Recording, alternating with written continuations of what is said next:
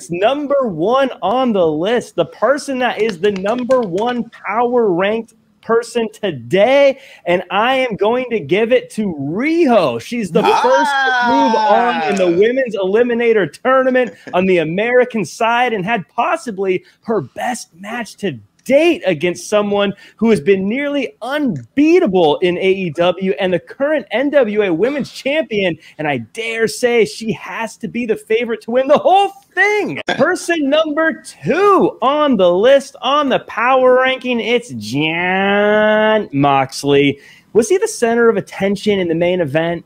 No. Did he get beat up at the end? Yes. But after all the dust settles, he gets to go back to his hotel room knowing that he has a shot at the AEW Heavyweight Championship of the world.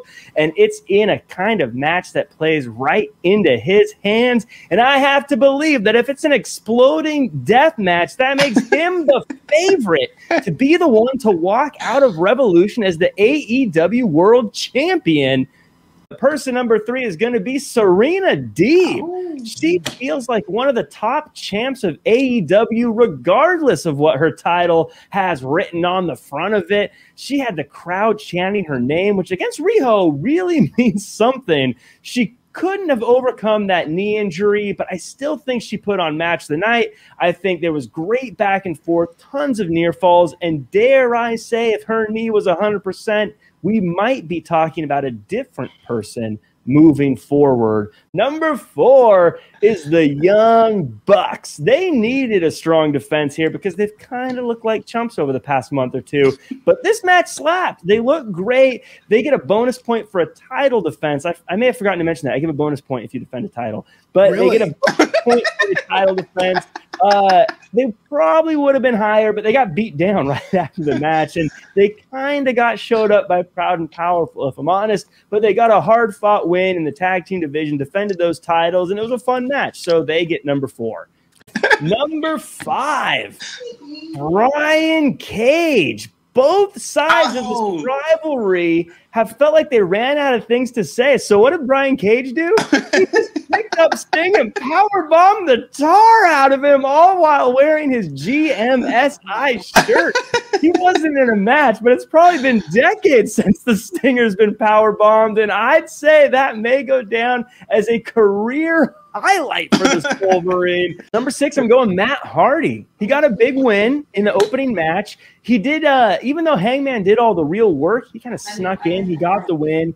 Now he may lose a lot of money once all said and done over at Revolution, but he was able to get the Hangman to risk his 2021 quarter one earnings, and Hangman didn't even have to. So Big Money Matt, in my opinion, may have reversed some of his bad fortunes here and may have started moving in a positive direction. It's number seven, we're going to give it to Proud and Powerful.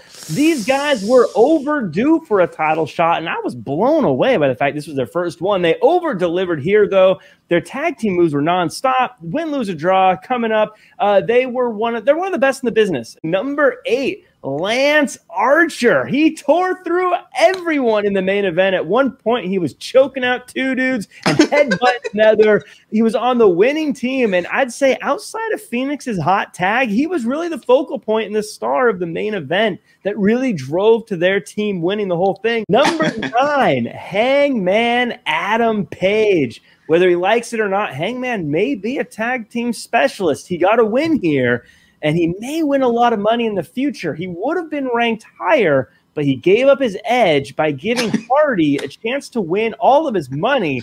Would be completely off the table um, uh, if he didn't have the Dark Order as well come in and save him, uh, showing that maybe that alliance is still there, still strong. I'm going to be honest with you.